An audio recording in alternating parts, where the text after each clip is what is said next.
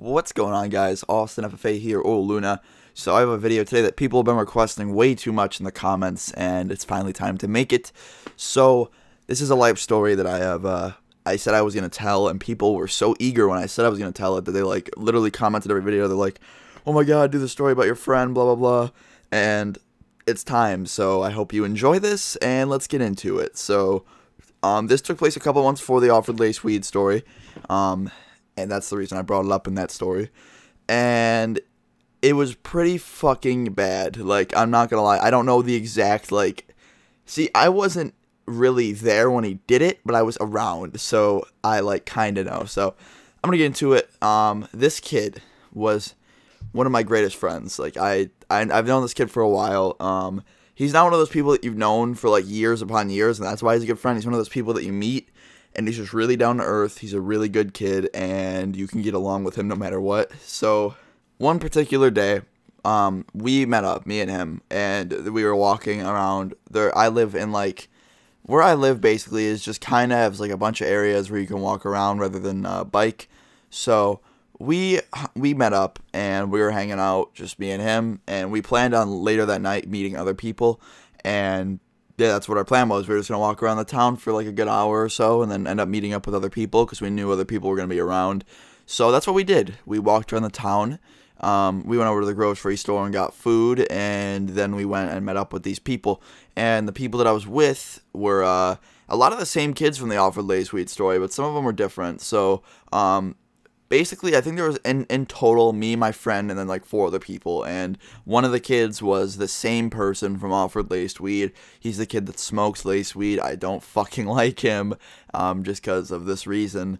And before this, we really didn't like. Before this, we knew that like he was into other stuff, like in, into uh, other stuff, but we didn't know that he was like uh actually like willing to ruin people over it and give them lace weed. So um what I don't know what was in the weed. Um, I think my friend has a good idea, but he wouldn't tell me because he's embarrassed. I feel awful for the kid, but um, anyway, I'm gonna tell you how this happened. So we were in the base. The, there's a there's a park that we go to. I've talked about it before, but um, by the park there's a abandoned building with a parking lot in the back where uh, you can go behind this dumpster, and that's where a lot of the really shady kids hang out. I don't know fucking why they decide to go behind a dumpster rather than just sit in the nice park and smoke, but uh yeah, it's it's really secluded off with trees and stuff like that. So that's where they went, and I said I was gonna stay in the park, and they were just like, okay, whatever. So they went, and the people who went were one of my good friends, uh, the, the the kid, one of my good friends, and then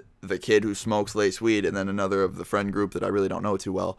So basically, they went to the dumpster, and I was stuck there with like I don't know, a couple people, and we were just kind of sitting here at the park on the swings, and I think we just started making conversation. Um, my one friend quit weed at the time, so I remember we were talking about why he quit weed, and uh, we were just kind of having a conversation like we always would do, and it was like 30 minutes. They didn't come back for like 30 minutes. They said they were just gonna smoke a bowl, and I was like, why are they taking so long?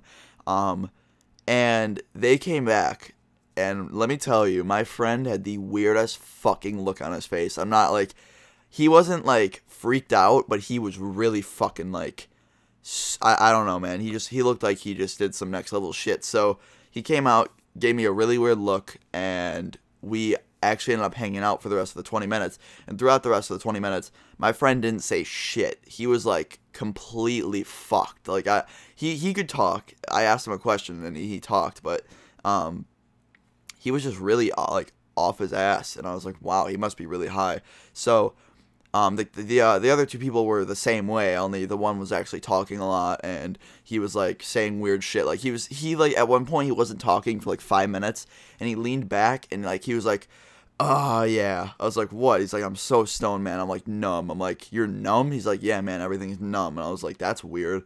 He's like, "Yeah, dude, yeah," and I was like, "What the fuck, dude? Like, what is like?"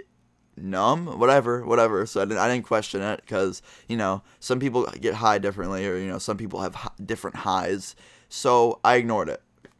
Um, eventually, we left that. With, um, I said I was like, you know, I gotta get going. So my friend came with me because he was gonna stay at my house that night, and he told me he's like something was wrong with that weed, and I was like, what do you mean? He's like something was wrong with it, and I was like, how do you know that? He's like, he was just hinting at weird. Th- he was giving us weird hints that something was in it. I was like, why do you keep smoking it then, dude? What do you mean? What what's wrong? I got scared. I thought he like I at that point I knew what was going on.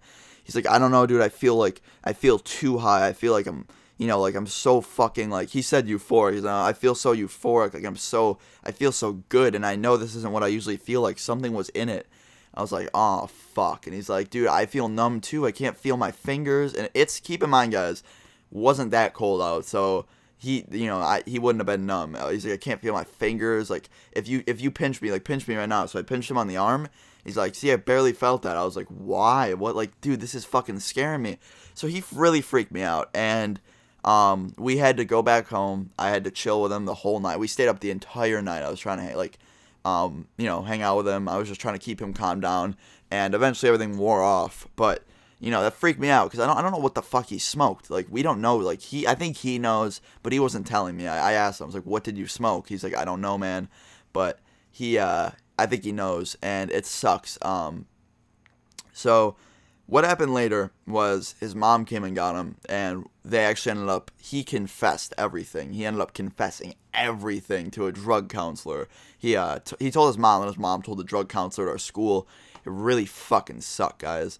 Um, he had actually, they put him in a program. They fucking ruined him, dude, for like two months. He had to sit in a program. It was like rehab. They put this poor kid in rehab when he wasn't even like, I feel so bad for him, but he said that he needed it. He said that he had like, he was claiming that he got hooked on it, and that could be true, so I don't know, but that really sucks. And that kid basically ruined his fucking, you know, to this day, people still look at him like he's a scumbag. They basically ruined my friend's life at school for no reason, and I feel really bad.